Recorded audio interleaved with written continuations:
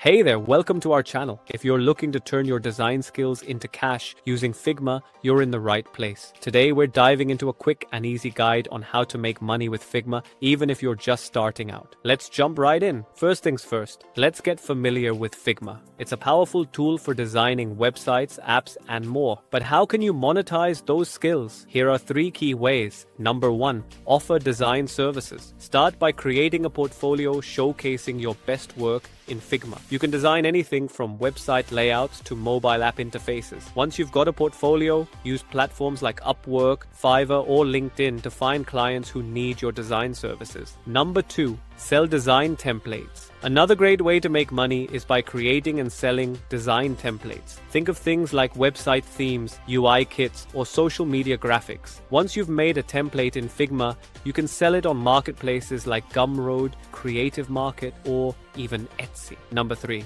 teach Figma.